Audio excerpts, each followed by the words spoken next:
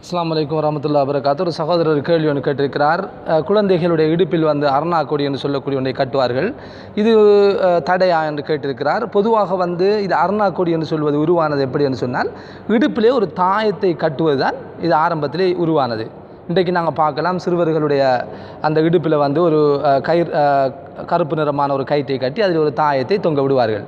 அப்போ சிலர் கேட்குறார்கள் அப்போ தாயத்து இல்லாமல் நாம் அருணாக்கொடி கட்டலாமான்னு அந்த எதற்கு நாம் அந்த அருணாக்கொடியை கட்ட வேண்டும்? ஏனென்றால் இது வந்து உருவானதே ஒரு தாயத்தில் இருந்து அப்போ தாயத்தில் இருந்து உருவானது தான் இந்த அருணாக்கொடி என்று சொல்லக்கூடிய ஒரு கயிறு.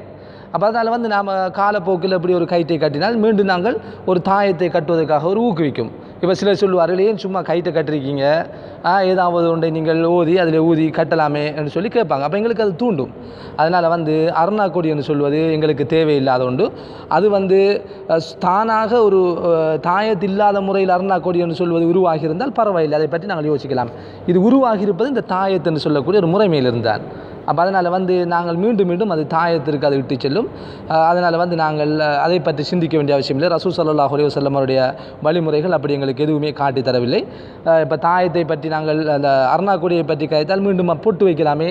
அதில் என்ன இருக்குன்னு கேட்பாங்க. அப்படி ஒவ்வொன்றாக அது மருவி இஸ்லாத்தில் வந்து இல்லாதவைகள்லாம் உருவாகிவிடும். அதனால் வந்து மார்க்கத்தில் இல்லாத விஷயங்களை நாம் எதுவுமே சிந்திக்க வேண்டிய அவசியம் கிடையாது என்பதை நாங்கள் இதன் மூலம் தெளிவாக புரிந்து